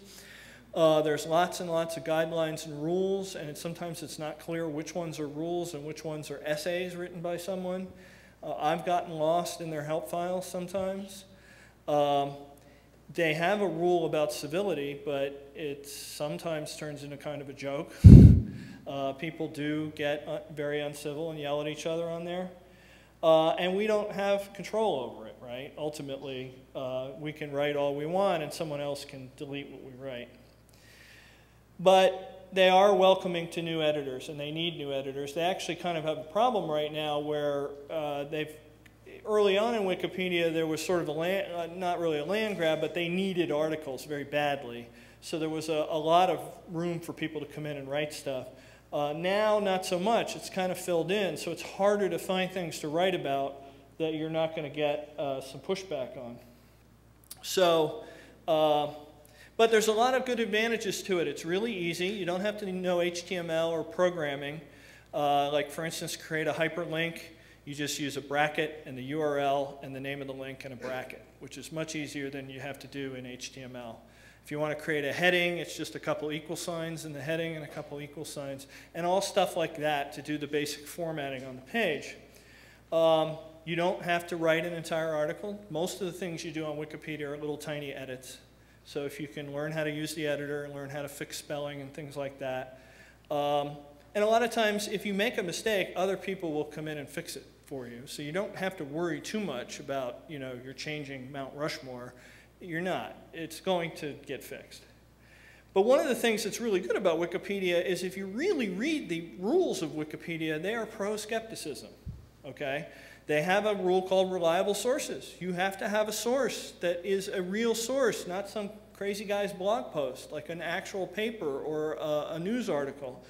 You have to have a neutral point of view. You can't go off on the, you know, the crazy uh, and say homeopathy is real. You've got to be neutral about it because clearly there are a lot of people who say it's not real. Um, there's a notability thing, so you can't just put every conspiracy theory in the world in there. They don't belong in Wikipedia. And there's a whole set of rules about what they call fringe theories, so that the real crackpots can't get their articles in there for very long. And no original research, which more crackpot stuff. So I kind of see two roles for skeptics on Wikipedia. One is to obviously edit the pseudoscience and paranormal articles and try to make them as skeptical as possible. You have to be aware that articles like, like homeopathy and chiropractic and oh, heaven help you if you go into the Scientology articles, uh, those articles have been poured over for years and have thousands and thousands of edits on them. So you have to be really careful when you go in and edit them. But at the same time, there's hundreds of other articles that need a lot of work, and you can do quite a lot and not attract a ton of attention if you're working in some more obscure topic. But another thing, and this is kind of what I focused on for a lot, is create articles about skepticism. Uh, I wrote Richard Saunders' bio on Wikipedia. I wrote Harriet Hall's bio on Wikipedia. And that's a great way for them to promote themselves uh, and to be, you know, considered more, uh, you know, important or at least, you know, that here, the, you know, Richard Saunders is a real guy. Look, he's in Wikipedia if someone doesn't know who Richard Saunders is. Um, and again, that's something that, you know, a lot of the other folks on Wikipedia don't really care that much as long as you do your homework and put the footnotes and stuff in there. So I have a few tips, and I'll go through these very quickly. They mostly intersect with what we talked about in community. Uh, create an account. Uh, create an account. Don't edit anonymously. Uh, it actually gives you some advantages. You can look at your own stuff. You can get notifications. Create what's called a watch list. That's a, a, a list of articles that you're interested in. And then Wikipedia can very easily show you every time those articles get edited. So you can kind of keep an eye on them to see when the nuts come in and try to vandalize them. Uh, start small, start with little things, spelling errors. My first edit was I was researching something for What's the Harm where a guy got eaten by an alligator. Don't ask. But it was at this historic site in Pakistan, and I wanted to, I was adding a map feature to What's the Harm, and I wanted all the cases to be on the map. And it's like, well, where is this place where they have all these alligators at this temple? And I figured out where it was on the map. And Wikipedia has a thing where you can put a map location on an article. So I put that in there, and that was my first edit. Um, simple stuff like that can get you started. And then you build up a history. And that makes, lets people trust you. Look at this guy, he's been editing for two years before he, he wrote his own article, so maybe we should be a little bit more respectful of him. Don't be, this is more jargon, Wikipedia calls it an SPA, a single purpose account. Don't go in there and just edit Scientology. They take a very dim view of that. in fact, there have been giant wars over that particular topic. But homeopathy or whatever. Don't just go in and focus in on your skeptical topic do some other stuff. Edit things about your school, your favorite uh, band, uh, your hometown. Avoid the battlegrounds. You know, look in the history of the article, see, you know, don't go into L. Ron Hubbard and start changing things immediately. If you look in the history of that article, you'll see people have been fighting over that article for years. Not a good first choice. Uh, do use the features to communicate with other people. There are ways that you can, you can leave messages to other editors and stuff, and I will admit it's extremely clunky and 1987 vintage uh, web stuff, and it's horrible. But try to use it and talk with the other editors, and people will trust you more. Uh, imitate other pages. If you're trying to create a page, find one that's like it and copy what it is. Uh, the big thing you have to do with Wikipedia is you have to kind of be a little zen, and once you put something on Wikipedia, you just have to separate yourself from it and say, okay, that's not mine anymore. Uh, because if you get possessive about the text and somebody comes in and changes it, that's a, that's a recipe for a lot of heartache. Um, creating articles about skepticism, I already talked about that.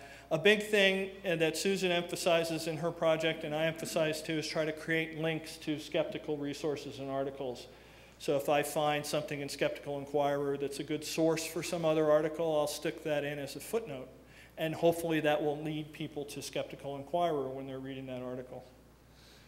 There's a thing called the scratch space uh, that you can use, especially if you're creating a new article. You can do your work in there and people will ignore you uh, instead of working in the real article. Because if you change something in the real article and someone else cares, they'll get in your face pretty quickly. But if you do your work in your scratch space, you can uh, work quietly.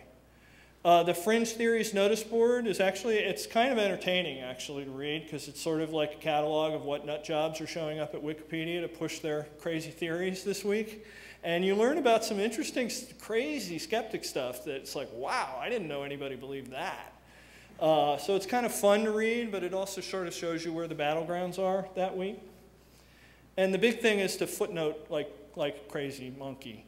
Uh, that's my defensive uh, uh, maneuver is, you know, just footnote everything like you're writing a paper for a really anal retentive professor at college.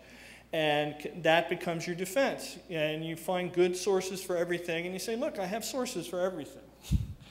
and uh, the nice thing about it, and here's just one little quickie thing on the end, is they added this thing called Google Knowledge Graph, and a lot of it is drawn from Wikipedia now. And if you live outside the United States, you probably haven't seen this yet, but it's in the Google results. So when you do a Google search, a panel like this will sometimes appear on the right-hand side.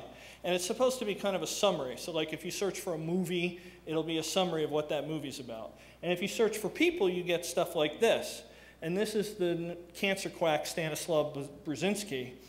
And it, with people, it shows you related people, right? So down here, the related people are Max Gerson, another famous ca cancer quack.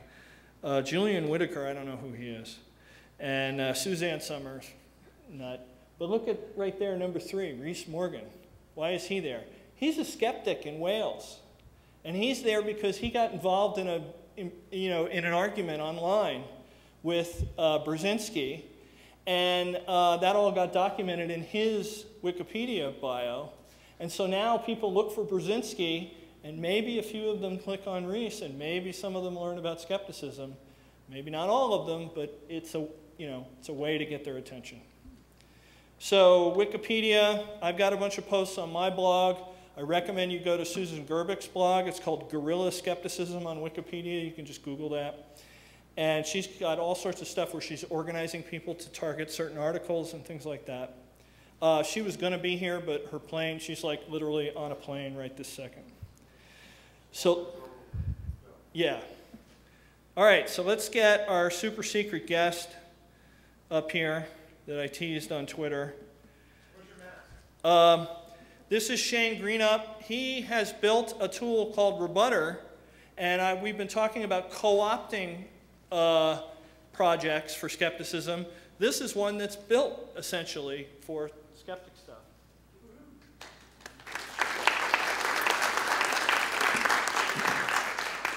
Hi everyone, uh, so I'm from Sydney, Australia, and we started building rbutr in February this year. So it's still very new, we're in the um, public beta development stage.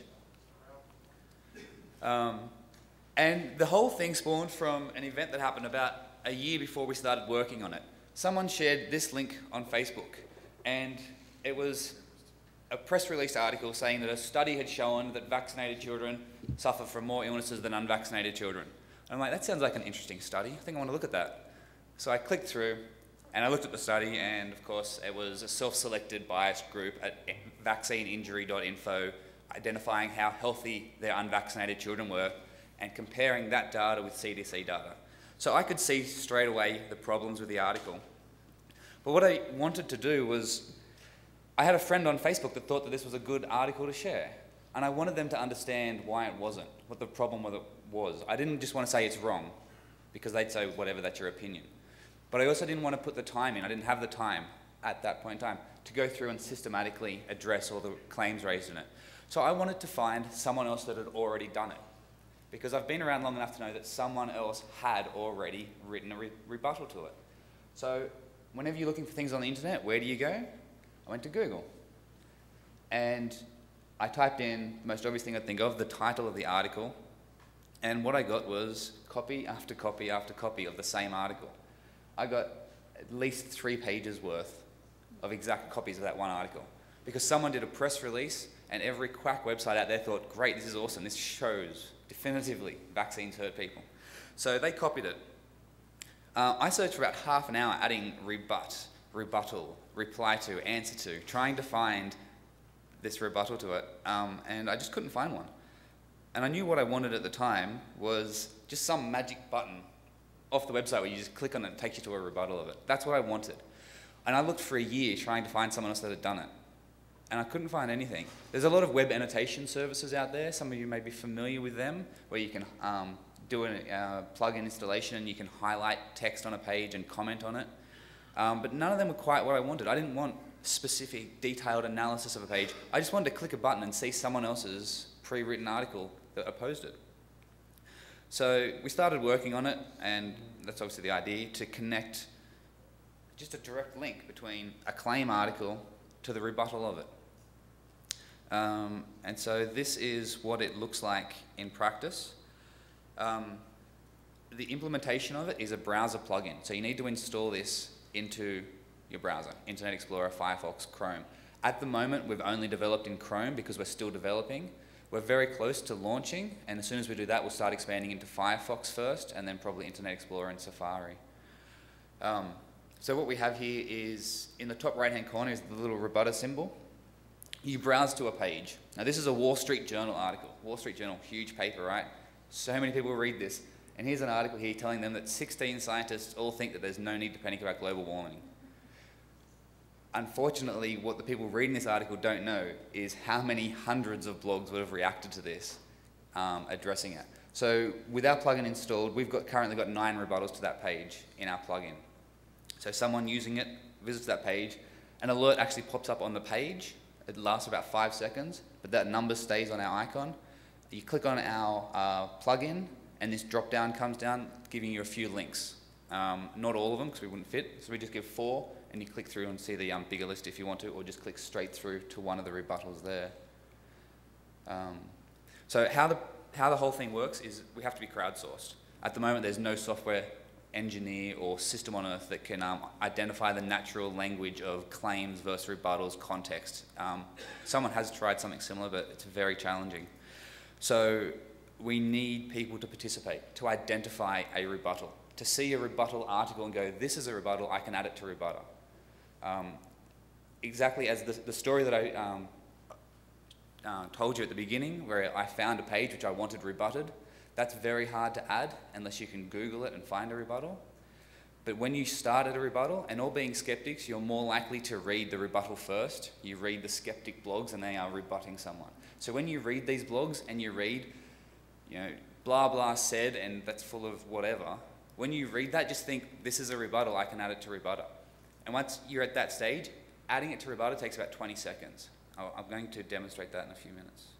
Um, you also have the ability to subscribe to subjects and pages. Now this is really interesting for bloggers and for people who just want to stay up on current topics um, and what's happening in the news in particular areas.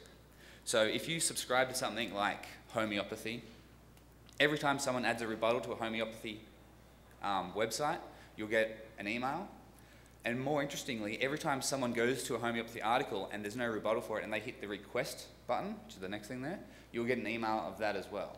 So that brings me to the next thing. You're able to request rebuttals. So sometimes in, when I found that natural news article about vaccines, I couldn't find the rebuttal. So if I had have had this tool, I could have gone request a rebuttal and then had an email sent out to all the people that are subscribed to that topic. And if right now, if I had have requested a rebuttal for that today, I guarantee there'd be at least 10 people subscribed to that tag who would know of um, the rebuttal that's currently in the system, which is respectful insolence. Because most people, I think, here probably know of that blog and would have just known that he's covered it already. Um, at the time, I didn't know anything about the blog. And I suspect most people out there were the same sort of skeptic that I was a year ago, which is you're skeptical, we know that it's crap, but we just don't subscribe to the blogs, listen to the podcasts. Not everyone does that. So, how do we reach those people that aren't sure but aren't part of the community? So, that's what we want to do, is reach out. Um, and yeah, and the final thing there is at the moment we're building a requests and rebuttals feed. So more like the Reddit sort of format where you have that curated page of um, time decaying um, feed of rebuttals and requests in the system. So create more of a community feel for it. Um, and just quickly, the last thing on this before I do the demo is, so we launched public beta in March. We started working February. And since then, we've already got 2,000 users, and we're growing every day. Um, 600 links in the system. Now, that's the number we really want to get a lot more of. We want to get a lot more links because there's so much content being created. Um, and we've got 1,200 plugin click, click-throughs, and that's to do with the actual um, plugin. We, people can navigate via the website as well, but what we're tracking here is how many people are just browsing and they land on a page and then the plugin gives them an alert and they can click through. So people are using it. Now, um, I will quickly open up the demo.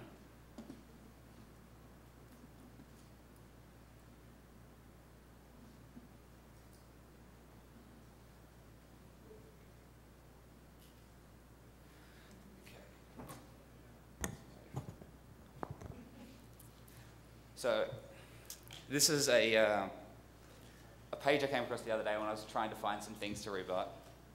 This article is quite amazing. Um, the guy that runs Natural News wrote it himself, apparently. Um, and he tells uh, everyone what skeptics actually believe. And it's, it's a hilarious read. But anyway, I managed to find a rebuttal for it. So actually, I probably should have started. What will often happen is, you know, you read respectful insolence and the title is A Pyromaniac in a Field of Straw Men or a Black Hole of Burning Stupid Incinerating Every Straw Man in the Universe it's a fun rebuttal. So if you, you, know, you subscribe to this blog and you read it, it's quite obvious what he's doing, and he'll usually link to you know, the page that's being rebutted. So it's clear what's happening. All you need to do at this point is click on the rbutr icon, pops down. This page is the rebuttal. Click. Go to the other page, rbutr. This page is the source. Click there. And now the URLs are source and rebuttal URLs. A quick comment.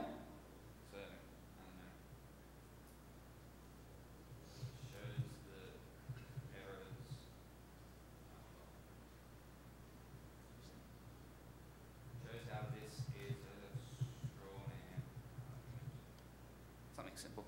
So this is a straw man argument, and then some tags, just so everyone knows what uh, topic it is. So I'll go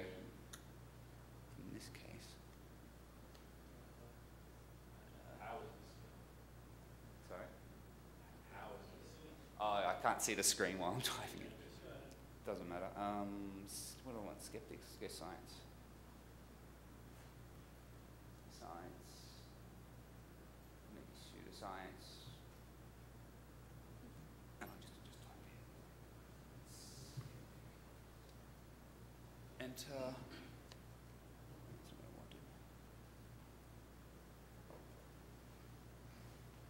So I just hit enter and we're on 4G at the moment, so. Um, and then I've just added that now with the typo and everything. I'll fix that later. um, and now there is a page. So this is one of the good things we have in the system is Google will actually recognize this page over time. So as we get more action, we'll get more Google attention for it as well. But um, yeah, we have the source page, the rebuttal page, and I actually made an error. I didn't um, select hit edit now. This is a direct response. I should have done that. Submit. So um, we have the ability to differentiate between direct rebuttals and general. And that's important because in this case, this article is directly rebutting this page. But sometimes um, a simple example is answers in Genesis could be rebutted by the Wikipedia article on evolution. Um, generally, it provides the evidence that contradicts the claim page. So I like to differentiate between those two in it because I think they're two important differences. One last part of the demonstration is here's another page. Actually, that's not. Um, this is an article they put on just the other day, just as a simple example of there's currently no rebuttals to this. So if you're looking at this and you're like, well, that's dodgy for whatever reason, you can click on that, and then there's just a button to submit a request. Select your tags. So this would be health, uh, homeopathy. There we go. That'll do health and homeopathy. Submit. And that goes into our feed of requested rebuttals, and anyone that's subscribed to Health and Homeopathy will be emailed with the alert that someone wants a rebuttal to this. And if someone knows of any, they can add it. Um, so that's it, it's that simple. Adding it takes 20 seconds, requesting takes three seconds. And the consequence of this is when we reach out to the wider community, and that's happening organically, like we posted to Reddit one, one comment in the um, Reddit subreddit of skepticism, and it spread to um, Hacker News, Lifehacker. Um, someone from New Scientist contacted me. Um, is doing an article on error checking on the internet. So we're getting a lot of natural, spontaneous growth from it, which is very exciting. So what I'm really trying to do, particularly here at TAM, is to find as many skeptics as I can who are subscribing to the blogs, the skeptic blogs, who can read it and go, this is a rebuttal, add it, just take the 20 seconds, so that as we grow into the general population, every time someone adds the homeopathy rebuttal, you know, someone saying, oh, homeopathy is real because here's a study that shows there was a effective rate or something, there's someone that's subscribed to that tag that can then react with, yes, but there's this statistical error with it. There's someone there to react. We need that skeptical core to make sure we have got, you know, the rebuttals for every page that gets added. So um, that's rbutr. Um, if anyone wants to come and ask any questions after, I'm happy to do so. And I have some t-shirts and actually on the, um, the forum table outside, I've got some fridge magnets which I've got like the rbutr logo on them. So thank you. Let's, uh, let's give, let's give old Mike a Web of Trust rating while we're here. Uh, that was, Web of Trust is also a plugin that comes down the same way. So I just hit that and hit the rate. And uh, I don't like Mike. That's, as- that's as easy as Web of Trust is, right? Click, click. You can also leave comments. Oh, I already left a comment here. but you can leave comments down here and you can vote on the comments. So if, uh, and uh, it's super easy. Uh, start doing this stuff. It takes five seconds. You can take a few minutes out of the day and do a little bit of this. If everybody who's here at TAM started doing this a couple minutes a day, imagine the, the change we would make. And I'm sorry we ran a little bit over time, but I hope you got something out of it.